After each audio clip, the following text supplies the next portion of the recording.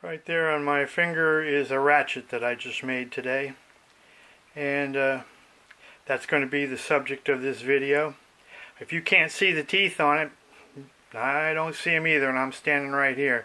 But we'll put it under my bench microscope and then uh, we'll take the old one and we'll put it under the uh, uh, toolmaker's microscope and get all the angles and the offsets from it and uh, then go down into the shop and make it. Um, so that's what this video is going to be about uh, today. But before we get started, let me show you. This is I went to dinner uh, lunch the other day with a buddy of mine, and he's a clockmaker, and he asked me in the course of the lunch if I could make him a, a ratchet. And I've made parts for him, but I've made wheels. I think this is the third ratchet I've made for him. And anyway, looked like a, uh, a, a fun job. It's kind of small. It's for a carriage clock. Well, this is a ratchet that you might have seen before because I've had it on my video about the Eureka tool. This is the ratchet sleeve. And the ratchet, I mean, the ratchet here is a radial. It runs right through the center of the uh, of the sleeve. Now watchmakers, clockmakers have a tendency to do an offset. So they move it off to the side here and then they cut their teeth. Um, this one that I'm working on today was about almost six degrees. So anyway, uh, to, uh, so we'll work with offsets today as well and try to show you what how I how they work. And uh, you'll see the kind of teeth that you get when you use an offset. Now this is not the clock that the uh,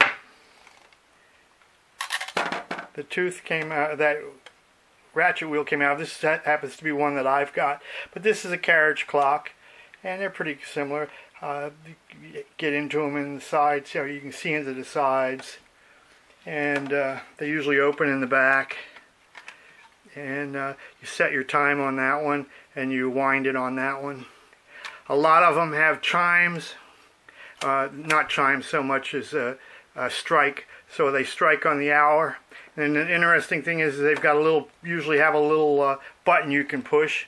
And the last chime that ran, if you push the button, it'll run again. So if it's at nighttime, all I have to do is push the button and you don't have to be able to see the face. And uh, almost all of them have a platform escapement like that, visible through the top. Anyway, so that's what a uh, carriage clock looks like. So let's go ahead off to AutoCAD and I'll, uh, I'll show you a drawing of uh, this uh, ratchet that we got to work on today. This is an AutoCAD rendition of the uh, arbor and the ratchet uh, that I'm working on right now and there's the uh, ratchet right there. Down this end it's squared and it's tapered for it to accept the winding key. And there's another square right there other than that, all the rest of it's round stock.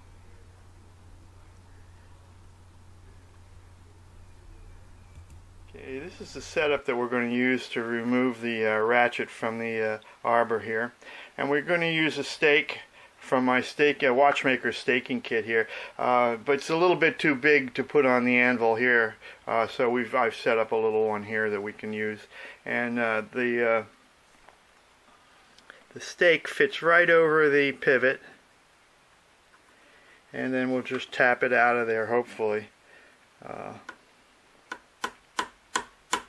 now now that we've got the uh, ratchet off of the arbor I've brought it over to the other side of the room where I have my uh, this is a Nikon uh, uh, stereo microscope. And I put it under the Nikon microscope and you can see that it comes up over here on the screen and uh, so to inspect it and to uh, take a good look at it, I'll be putting the camera over there uh, and it'll be directly on that screen and we'll go over the, uh, the ratchet and uh, get a look at it and see what we can find out about it.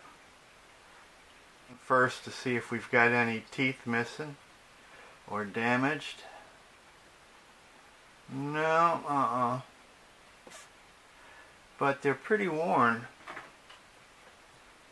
this here that's your locking face you can see they're pretty well uh, worn down. and uh, there's almost no lock to them left at all. Yeah.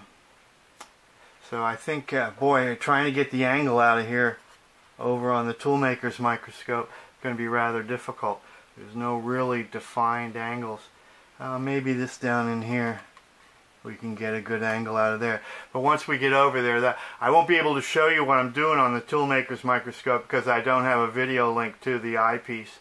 Um, but uh, I'm going to be trying to figure out that angle and then the offset of that angle and then uh, it's much easier to count the teeth on the toolmaker's microscope so I'll be doing that over there as well.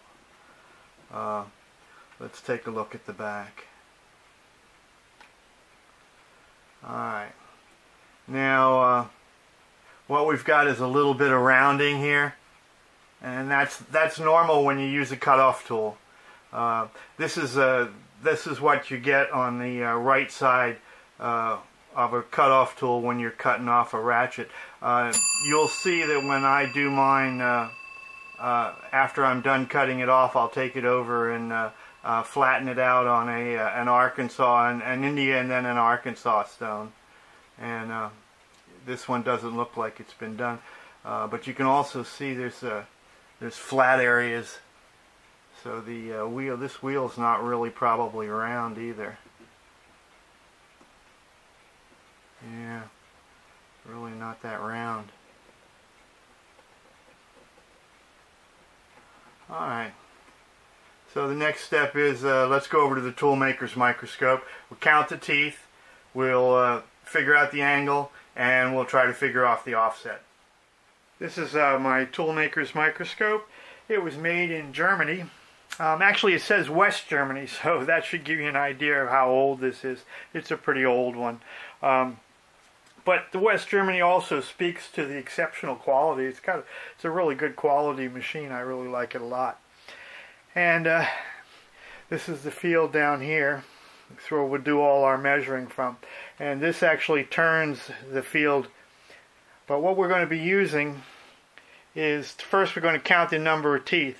And there's a graticule in here, a, a piece of glass that's uh, laser etched. And I'll show you what it looks like in AutoCAD. Uh, but we'll use that to count the teeth. So that'll be the first thing that we'll do. All right, this is exactly what I see when I look through the eyepiece of my toolmaker's microscope and this is the ratchet and I put it into the center of the screen. The red lines are etched on the graticule. There's 12 of them and there's one, two, three, four in each section. So 4 times 12 is 48. So we know that the number of teeth that we have on uh, that ratchet are uh, 48. Now the second thing that we want to do now that we know how many teeth that we have is we want to get the angle of the uh, thing of the teeth. Now you'll notice up here on the eyepiece we have an eyepiece here and then we have another eyepiece over here. This eyepiece here is a vernier and we'll use this to turn the vernier scale that's inside here on the uh, graticule and we can measure it up there in that eyepiece and that's how we'll get our angle. Okay, now you can see what I've done here. I've moved the ratchet down so the center point of the graticule is right there. And now I take a reading from the vernier scale in the second eyepiece and I make note of that. And then I'll come back here again and I rotate. And I rotate until I have that position I go back over to the vernier and read the vernier, subtract the two, and now I have my angular measurement, which turned out to be 48 degrees. Uh, and I did that actually as a, an average between two or three different teeth that I looked at that I thought that I could get a good measurement from. And so that was how I got the 48 degrees. Now let's continue on to the offset. Okay, the next measurement that we need to get is the offset. And to get the offset, we're going to be using the x-axis uh, micrometer scale there. And as we look through it, we'll just uh, move over uh, and uh, take a measurement. and I'll show you now in AutoCAD how we do that.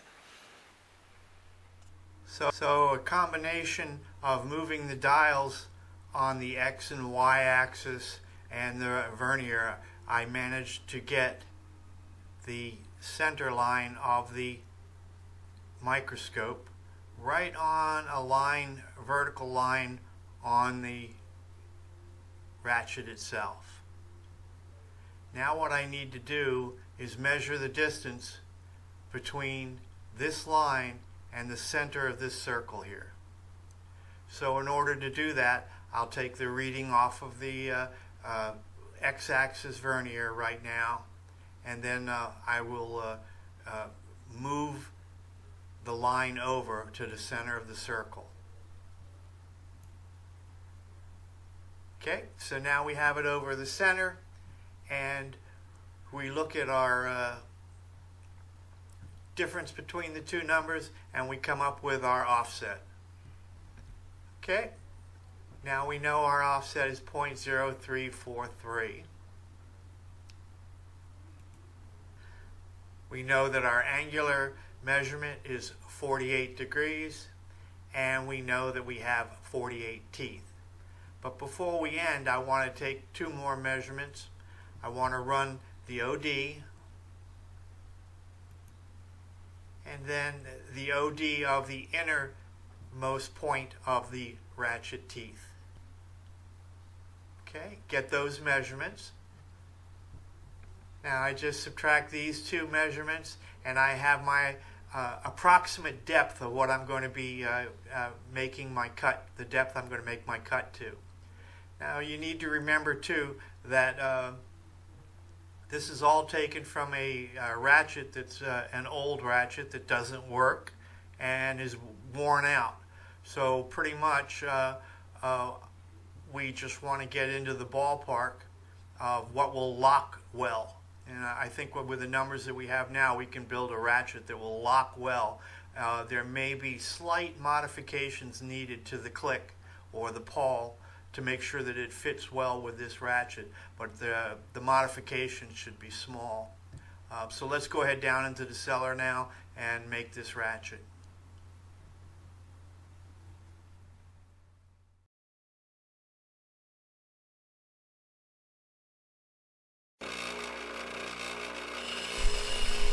I'm uh, with an 8 degree release uh, on the front there.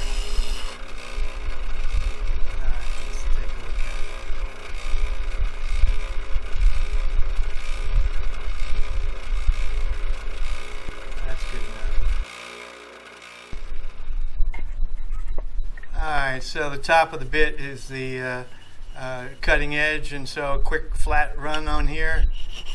And we'll uh, brighten it up a little bit and uh, this bit will be ready.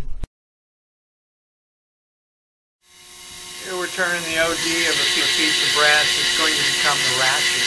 It will never leave the blade the position it's in now. It won't become unchucked, the chuck won't come off, it stays right here all the way through the cutting process The center hole is a little undersized. We'll open it up with a broach later. But right now we're going to put a center into it so that I can line the cutter up easily.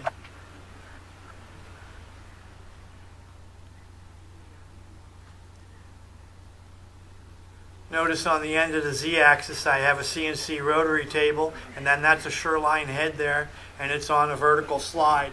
You'll also see there's a stepper motor at the end of the uh, z-axis.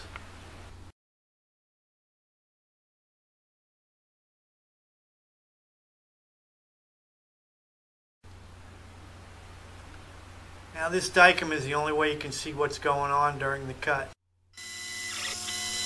Alright, I sped this up quite a bit. Uh, I got 48 teeth to cut, so it took a while. But uh, you get the basic idea of how it went.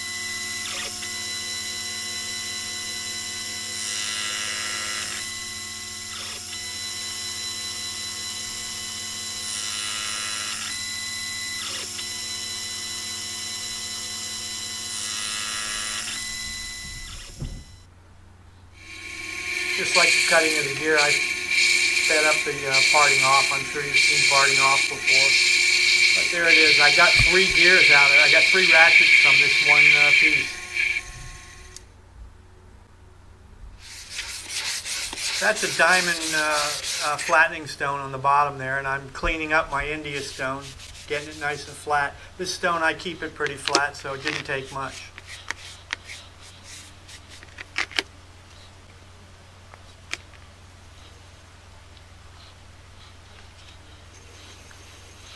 Now this flattens out the ratchet. You can see as the oil gets darker in color,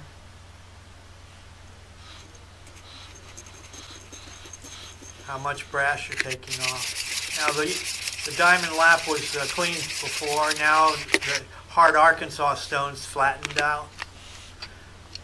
This one too, I keep it pretty flat so there wasn't a lot to have to do on it. This one doesn't flatten the brass, it kind of polishes it and it gets plenty back, plenty black, plenty fast.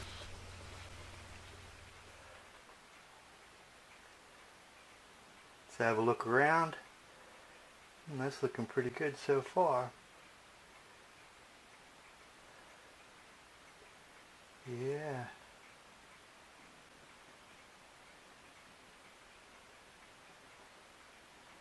Yeah.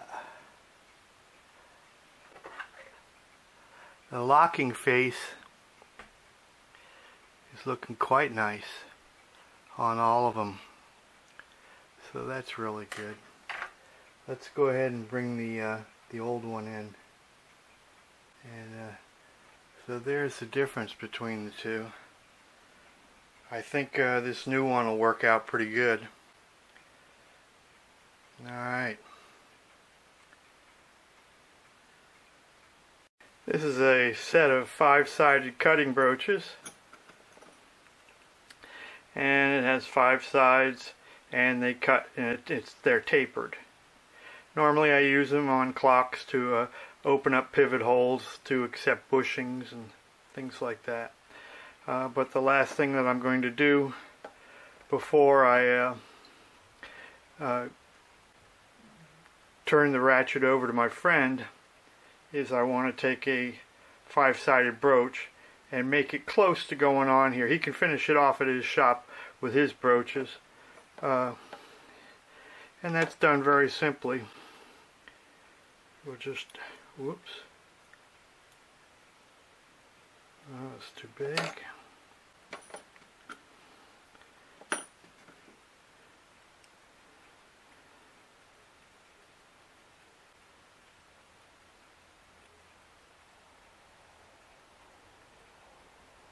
There we go.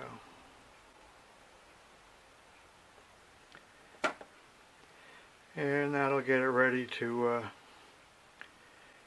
to fit onto the arbor.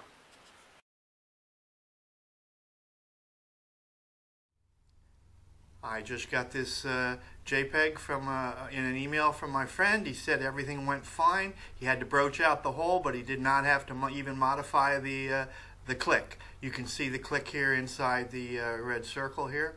But this long tail on the click, that's actually the click spring. So the click and the click spring, it appears to be all one uh, one piece. I've never seen that before. Normally the click spring is a separate piece. Uh, but anyway, uh, and there's not two ratchets in there. That's just a reflection on the uh, the brass plate. Let's get in and get a better look at this. All right. And he said everything works fine, so uh, I think I'll call that a done deal. And uh, I want to thank you all for stopping by the shop. And I'm going to be working on the grasshopper clock pillars next and I'll have that out uh, uh, soon enough here. Uh, y'all have a good day. Bye now.